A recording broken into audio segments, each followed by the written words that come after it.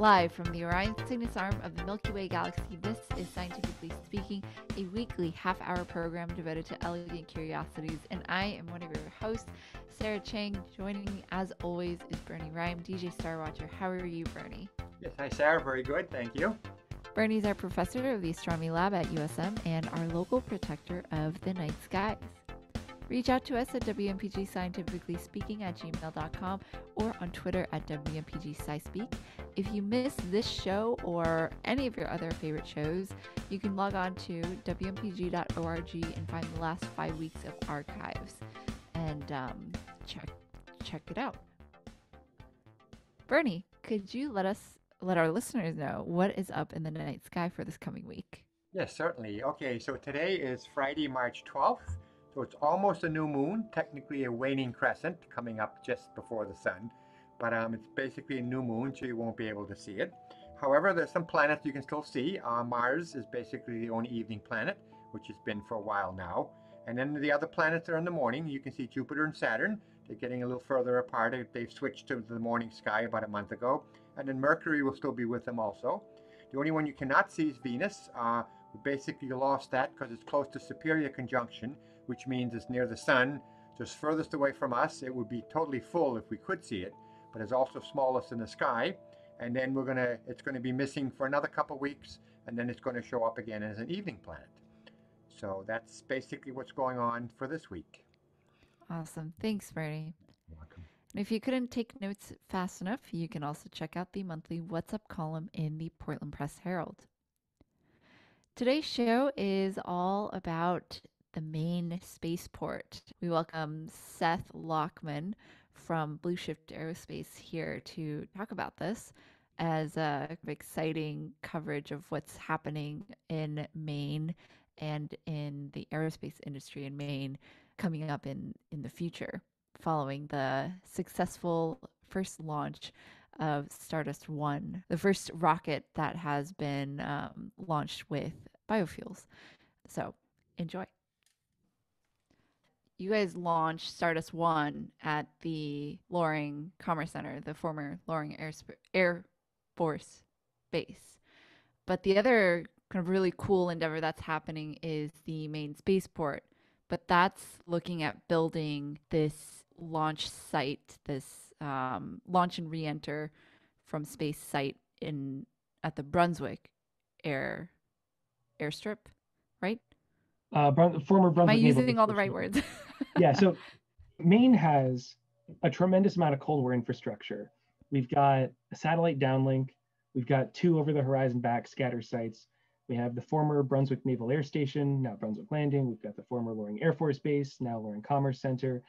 Uh, we've got um, the old Sub Hunter Station out of, uh, what was that, Win- Winter Harbor, I think. And uh, we still actually have uh, an antenna site for uh, talking to, to submarines. Uh, not to mention Bath Iron Works, Portsmouth Naval Shipyard, and let's see what Pratt and Whitney out in uh, Berwick, Berwick. North Berwick. Yep. North Berwick, yeah. So uh, and that's uh, and so that's all dating back to the Cold War. That's that's all before you get to this kind of uh, prolif- uh, proliferation is maybe not the right word to be using here. but uh, you know the, the, the emergence of new space uh, here here in Maine. So uh, the Maine Space Grant Consortium is thinking, okay, so we've got all these amazing educational programs. You know, we've got the Center for Undergraduate Research at UMaine. We've got uh, USM just rolled out a CubeSat uh, fabrication lab. Um, uh, the, there's the Tech Place Business Incubator at the Brunswick Landing, and those are those, those those are just the highlights. I mean, there is there are a lot of really wonderful education initiatives and programs in the works. Excuse me, uh, not just for aerospace, but um, all kinds of well, unmanned aerial systems. Call it aerospace, yeah, sure. Yeah. Um, so, I, I mean, they're not rockets, but you know. so, uh, so the thought is, let's partner all of this together and let's come with a, up with a kind of a distributed network uh, of a spaceport, um, which is kind of how NASA wound up doing things too. Um, so Brunswick would be kind of like the Houston in the in the Okay. uh. So you have mission control there, uh, data storage and processing, uh, the business incubator, uh, probably the educational programs would be based out of Brunswick, um, just because it's kind of more proximal to most of the state's population. And you could do horizontal launch off of the runway. So you could either have aircraft doing those, you know, kind of parabolic arcs, like uh, like they call it the vomit comet, right? um, and you can do that for tourism or for research or uh, or for astronaut training. I mean, you know, if, if uh, Jess and Chris ever want to just, you know, join us for a flight, that would be tremendous. Um, so you could do those sorts of things out of Brunswick. Now, uh, up in Limestone, uh, that's where it starts to get remote enough to start doing vertical rocket launch, but you can't really go very high. For pretty much anything bigger than what we did, uh, probably you want to be looking at a coastal site. Um, but there are some amazing state-of-the-art facilities up here.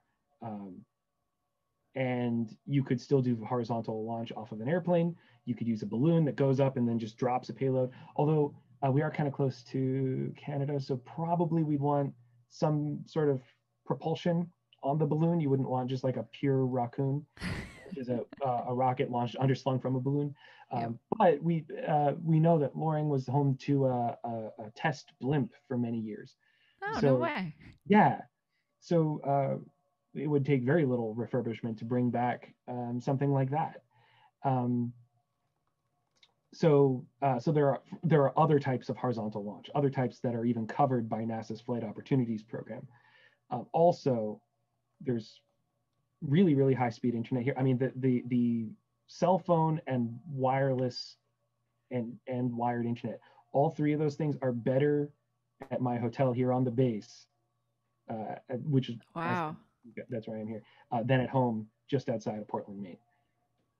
Um, and there are a lot of offices that are just waiting for people to move in. Our, our uh, field office that the Loring Development Authority gave us to uh, to conduct our launch out of was probably a little nicer than even the, the one in Brunswick. I mean, there's, really, really nice facilities up here. Um, and, and that's to say nothing of R&D and manufacturing. Um, the, the military authority has a couple of uh, vacant buildings up here still and there I got to uh, I got to tour a jet engine kind of testing facility, and it had probably the thickest doors that I've ever experienced. Um, but it, you know, you you could adapt that pretty easily for a horizontal test stand for uh, for a rocket engine, or or bring a jet engine. You know, the Maine has another rocket company that that's working on an air breathing engine. Um, so there, you know, this so Loring could pretty easily become the kind of like the Edwards Air Force or the, or the like the Mojave of of New England. Yeah. Uh, in terms of you know this is this is where all the crazy stuff happens. Got an engine too big to test in Brunswick? Bring it on up to Limestone. We're gonna have some fun. Um, so that you know that that's where Loring has such a, a, a, promising future, and and also they're like ten minutes away from my old high school, the Maine science, uh, Maine School of Science and Math. math. Hmm think I would know this because it's my old high school. The Maine School of Science and Mathematics. There we go. Uh, so it, it, just seems like you know between them and UMPI, just a couple minutes further down the road, it's, it's like uh, is begging for its own uh, incubation up here, and um, we've already got the the Loring Job Corps up here, and um, oh, what else? Damn it! Isn't it also the site of some of the biggest Phish concerts? Used to be. Yeah, Used to it was be, little, no more. too crazy. Those, yeah. Um, but yeah, they, they have they have races up here in the um in the Seems summer very still. multi-purpose. Oh yeah, yeah, absolutely. That's that's such a dynamic runway because sometimes that runway is open for airplanes to land on it, and sometimes there are cars racing on it and sometimes there are rockets launching on it. I mean that's a very that's a that's a busy runway yeah. that, that's a renaissance runway. And that's going to be the name of my next band right there. Renaissance runway. No that's great that's great. Um, yeah. i can already hear kind of the blast off the the sound of you know a rocket blasting off. That's that's your intro to your to one of your songs. Yeah, yeah, every every song actually. every, every, single, song. song. Can I just ask um so uh, oh yeah. The Loring this is a little uh a, a bit of a tangent, but the the Loring Commerce Center that was not initially built to be a rocket launch site, was it? Oh no, no. The Loring Commerce Center is maintained by the Loring Development Authority, and their mission is to revitalize the base as Mhm. after it was shut down. Similar to the Midcoast Regional Redevelopment Authority in Brunswick, uh, LDA is all about um, finding anchor tenants.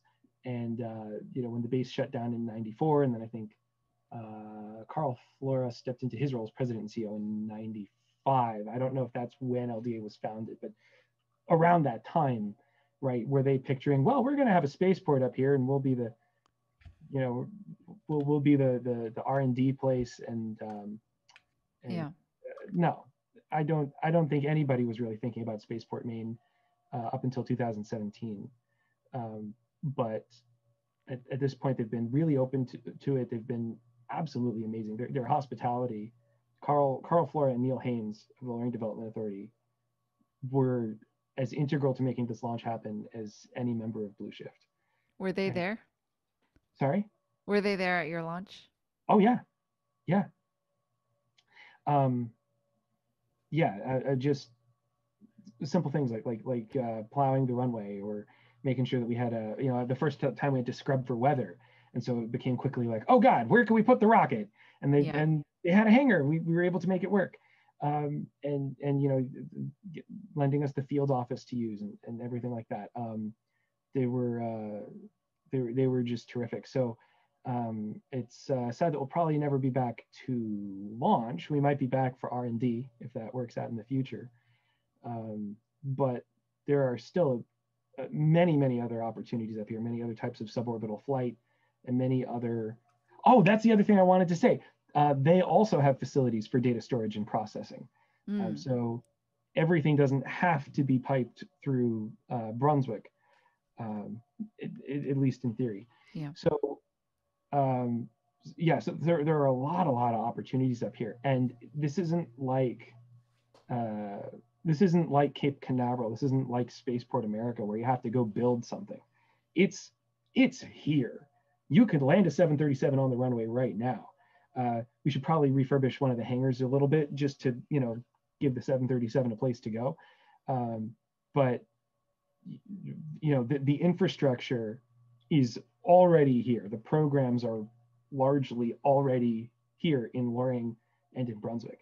Now, for companies like Blushift, where we're doing vertical launch, and especially, especially if we're going to go to orbit, you need ocean overflight. You cannot have a rocket flying over I-95 or houses on the coast. That's just that's just not an option. Uh, so we uh, we really want to see a down east launch site uh, off the coast to attract vertical launch companies. And you could still stage the mission um, out of, depending on which direction you're headed to get there, you could still stage the mission out of uh, Loring or Brunswick. Um, but uh, the, the, the launch itself would be from the coastal down east site. Yeah. Yeah. So we we got to set probably I think this is a world first. The world's first recovery of a of a launch vehicle by snowmobile. And so our next launch we hope will be the world's first recovery of a of a launch vehicle by lobster boat. oh wait, and Seth, haven't you worked on lobster boats before? Uh, I worked on tugboats for a short You time. worked on it, so you could, you could, you could drive one. Oh yeah, yeah. No, driving a, I could drive a boat. Yeah, sure. Yeah. Is it called driving a boat? Is it- Absolutely not. Is it steering? What do you, what do you call it? Pilot. Piloting a boat? Yep. Yeah, I worked on boats in New Orleans for four years. Oh, Oh, so you could you could well, uh, we go. recruit. Yeah, you can recruit Bernie. Yeah, yeah, yeah. I'll I'll helm the thing, and you'll you'll you know do, cleat the the lines and everything. Will you know make fast the the rocket. Yeah. You know, abaft or or what have you. Yeah. Well, that's super exciting. Um, Yeah. where uh, where are we in the process of making Spaceport Maine happen? Right, right. Because I haven't talked enough yet. so, so uh, right now, um, notwithstanding just the the things that the various stakeholders are up to, um, you know, as, as, far as you know, coordinating all of it on the on the on the macro level. Uh, the Spaceport Leadership Council has been assembled. They're developing a business plan and a strategic plan. They're going to submit it to the state uh, at the end of the year. And uh, our next steps are going to depend on, on what's in the report. Uh, it's, the, it's the kind of stuff I, I find really fascinating. And a, a lot of people are, you know, they, they just kind of want to leave it at Schoolhouse Rock. But um, I, I, got to I got to see uh, LD 2092, which was the bill to create the committee, go through the Legislative Council, Revisor's Office, um, the Maine's uh, Joint Standing Committee on Idea B. Let's see, innovation, development, uh, economic advancement, and business. Nice, nice job. Oh my God. I feel like Neo in the Matrix, like I know Kung Fu. I think I just did that. Yeah. I think I just did. And if I didn't do it, I know someone's going to fact check me. I think I just did that. Okay, moving on. So, mm-hmm. um, anyway, the, the bill ultimately got backburnered and then just didn't make it to the to the floor, even though it had unanimous bipartisan support. Which, like, how how many bills these days have unanimous bipartisan support, right? Uh, and, and, unfortunately, it didn't make it through because the that was that was my last day out in public without a mask on, and so the entire state government basically pivoted to focus on coronavirus, um, which was, you know, it, as it should be. That that's the most important thing to get through this now. Um, so we wound up uh, we wound up securing the funds to create the the leadership council in other ways, but I'm I know the state's going to continue to be involved with the spaceport down the line. Yeah. How uh how involved are you and Sasha and Blushift in in this? Uh, well, Blushift is definitely a, a, a stakeholder. We're, in, we're in an affiliate of the Maine Space Grant Consortium, and uh, Sasha was on the steering committee, which is kind of the earlier version of the Spaceport Leadership Council. Um, I don't uh, I don't know what his involvement is with the Leadership Council right now. That's something that we just haven't talked about because for months this has been it. You know, this is tunnel yeah. vision. I um uh I I I really have since since September I've only been made aware of, of major world events by by way of other people's incredulity or or kind of like their Facebook posts I can kind of guess what's happening, you know. But I've really, really just had my head in the sand because it's just all stardust all the time. So I'm I'm kind of like, you know, stumbling out into the light here. Um, so is he on the leadership council? I don't know. We were talking about stardust. That's that's the best I've got. Um, but uh, yeah, so, so so basically they're in the process of identifying uh, launch sites uh, on the coastal down east. So we'll have to we'll have to sync up with them once we can announce uh, what what we've found. And uh, because you know we just want everybody to to to be on the same page there. Um, but uh, yeah, I'm I'm looking forward to seeing what's in the development plan, and uh, I I hope, and this is just my opinion here, but I really hope we're able to move quickly on developing launch capabilities, because if we lose out, there are a number of regional powers is kind of a dramatic way to put it, but we are very literally in a space race with Georgia, Michigan, Wisconsin, Scotland, Sweden, Nova Scotia, right next door, um, and uh, also Alaska with Kodiak, uh, which is in operation now.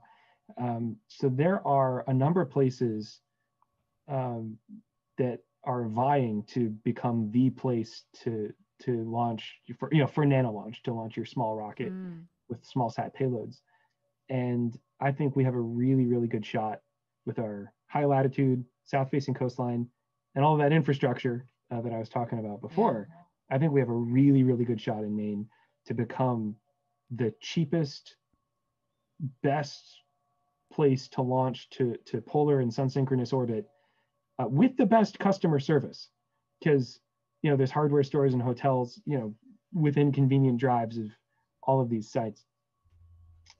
Um, but we have to move decisively because if people are developing, you know, lines of logistics out to these other spaceports, they're not going to want to start from Yeah. square one again, or they or they might, but it's going to take time.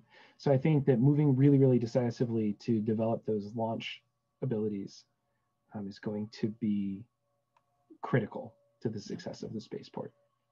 Wow. The pressure is on. Yes, yes, it is. You heard it here on WMPG 90.9. It is. So if you're listening,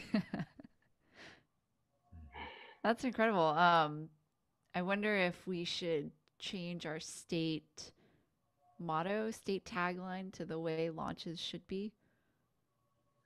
life. Bernie But got it. Rocket launches are the way life should be, though. Yeah. Also, I hope that they keep the motto. I really want the motto of the spaceport to be Ad Astra Dirigimus. Okay, or that. Yeah, To the stars with what?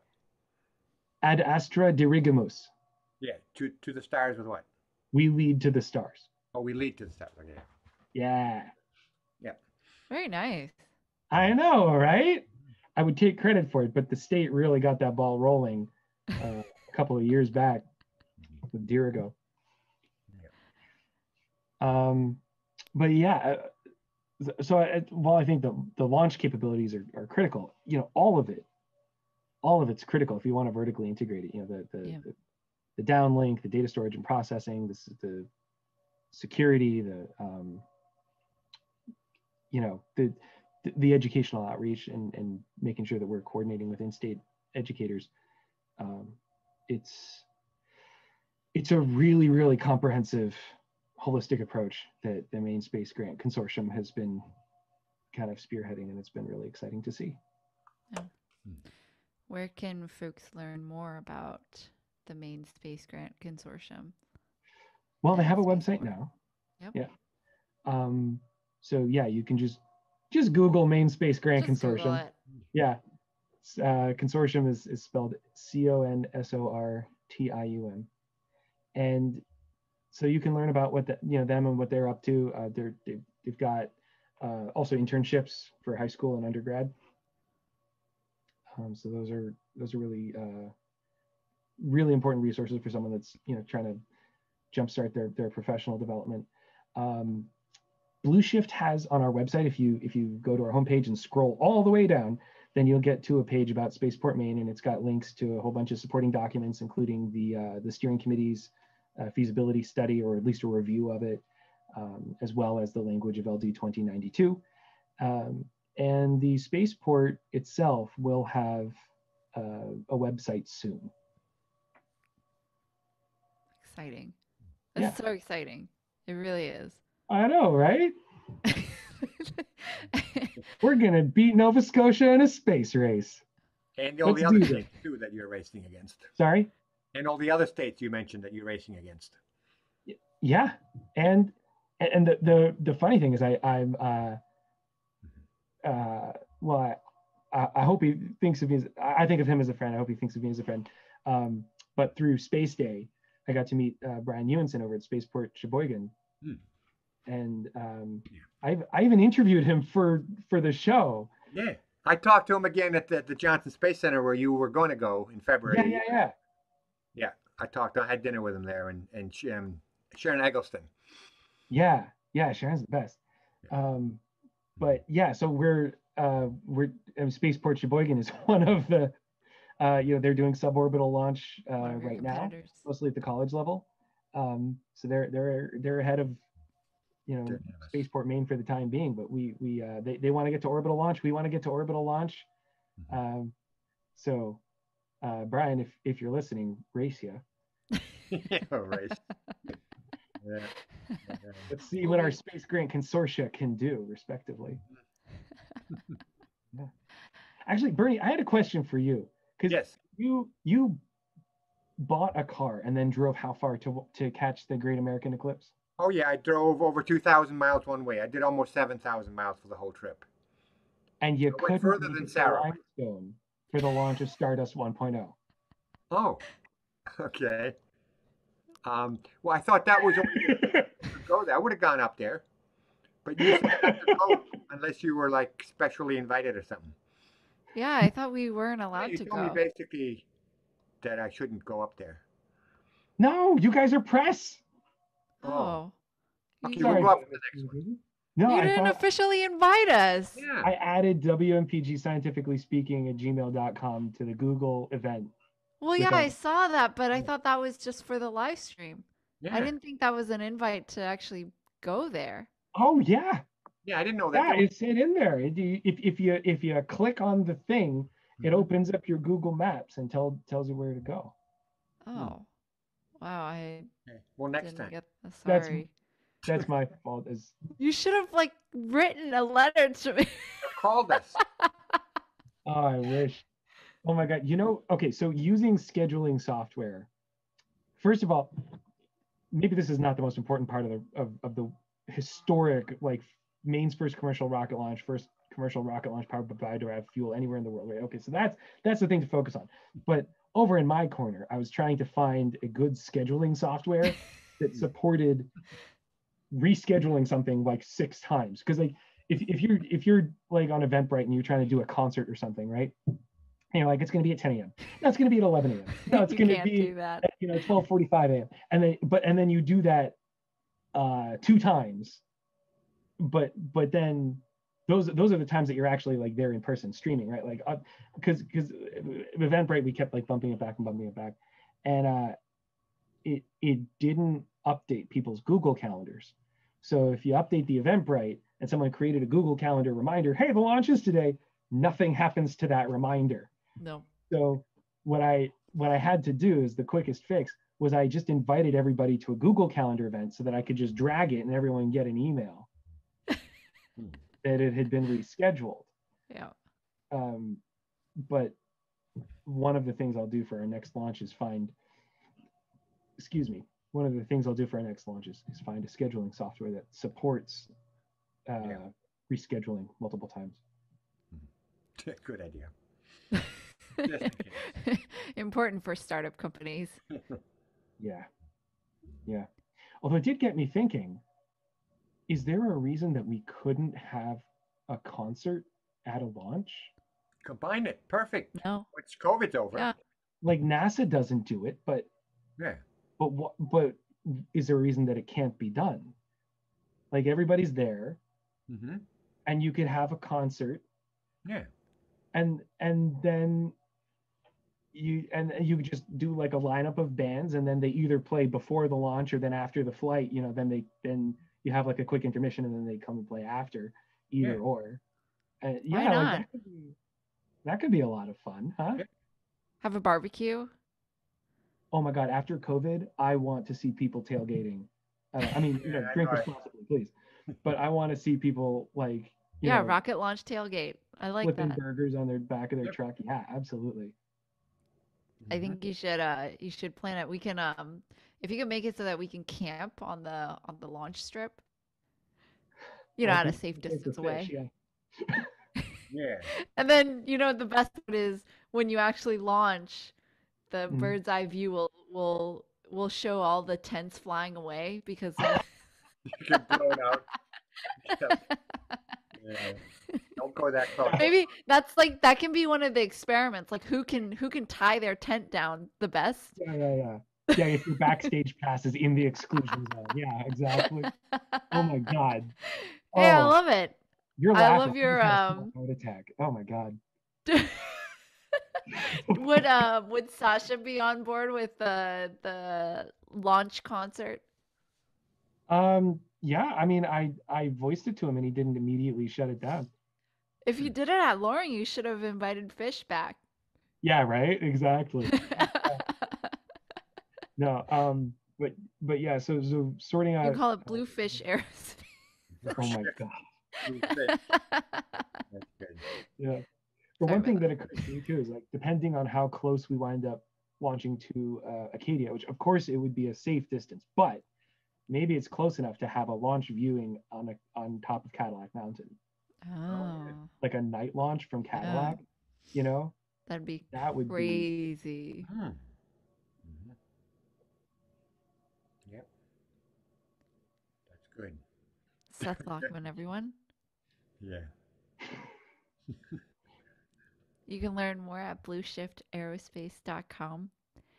And uh, thank you so much for joining Bernie and I, coming back and joining us. yeah.